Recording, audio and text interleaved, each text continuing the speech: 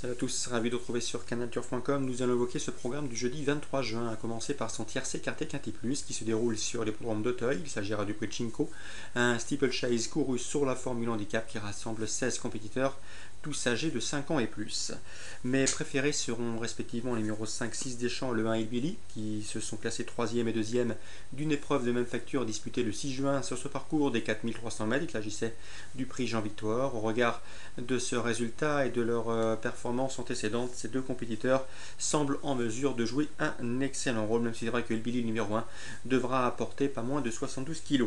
Ensuite, euh, je leur opposerai le 9 Carmonde, qui après deux chutes en cross-country vient de s'imposer plaisamment euh, en steeplechase, un succès qui lui a valu d'être remonté de 3 livres sur l'échelle des valeurs, quoi qu'il en soit, il garde son mot à dire. Ensuite, attention également numéro 14, Quentin Derward, présenté par François euh, Cotin. Le cheval vient de manifester un net regain de condition, lui qui avait peu couru. Ce jour-là, il a tracé une excellente fin de course, il était loin dans le tournant final et après la il a enclenché pour échouer de peu pour le premier accessite. Le cheval était en net regain de condition, la méfiance s'impose. Numéro 3, Nord-Ouest du liste, Nord-Ouest du liste présenté par Jean-Luc Guillochon. Jean-Luc Guillochon qui en a toujours fait un cheval d'avenir. C'est ce qu'il m'avait confié lorsque j'avais pu converser avec lui. Un cheval de qualité, bon sauteur, qui a déjà prouvé sa qualité à Hauteuil. Euh, le cheval avait terminé 6 du prix Jean-Victor, le handicap référence. Ce jour-là, il bien fini. Euh, donc attention à lui, il pourrait bien venir pimenter les rapports. Euh, même chose pour le numéro 4. Sourire aux lèvres, quatrième de la course référence de Jean Victor à la faveur d'une bonne fin de course ce jour-là. Ensuite, j'ai retenu le 13 Turbaza, a priori barré pour le succès, mais elle, elle, reste sur une bonne deuxième place sur le steeplechase, dans une épreuve où il n'y avait que des juments. Cette fois-ci, elle doit affronter les mâles, mais elle est confiée à Christophe Pieux. Numéro 12, Speed Rose, a priori lui aussi barré pour le succès, mais une place est dans ses cordes, d'autant qu'il représente le tandem redoutable David Berra pour la monte et Laurent Viel pour l'entraînement, lesquels font feu de tout bois depuis le début de l'année. Résumé chiffré pour ce quintet, le 5 6 Deschamps, le 1 Billy, le 9 Carmonde, le 14 Quentin Durward, le 3 Nord-Ouest du liste, euh, le 7 euh, Sourire aux lèvres, le 13 Turbaza et le numéro 12 Speed Rose.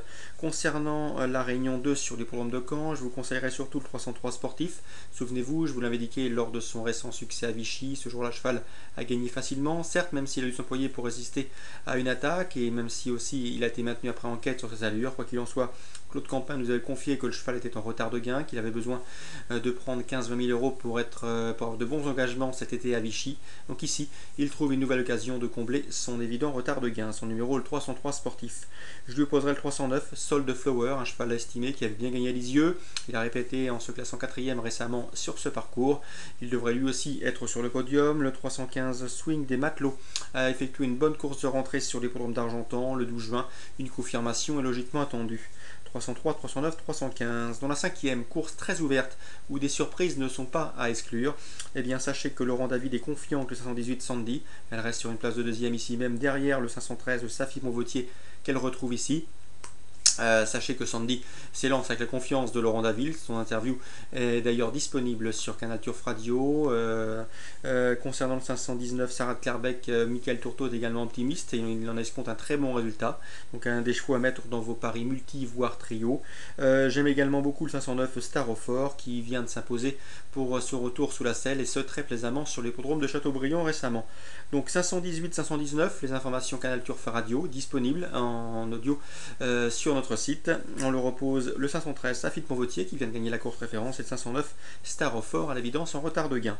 Dans la huitième, je rachèterais volontiers le 812 Un Charme Fou. Il avait gagné en débutant, il avait fait de même la dernière fois à Caen, mais pour avoir gêné l'un de ses rivaux dans la phase finale, il avait été qualifié de la première place après enquête.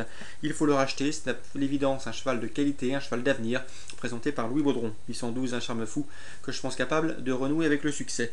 Je lui oppose le 806 sur Lando euh, Beiji, deuxième de la course référence ce jour-là, où Un Charme Fou avait été disqualifié après enquête.